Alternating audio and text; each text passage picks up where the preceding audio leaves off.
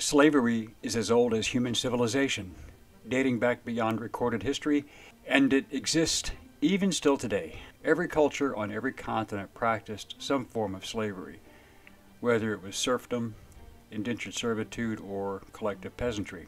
However, when the slave trade is mentioned, people normally think of the black African slave trade to the Western Hemisphere.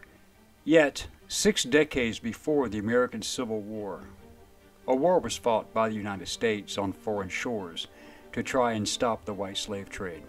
What was the white slave trade? Does it still exist? Who were the Barbary pirates? What was the result of American intervention? How did it occur, and what was the aftermath? And how did nine U.S. Marines and their mercenaries make history and give birth to a legendary fighting force while also ending the white slave trade in North Africa?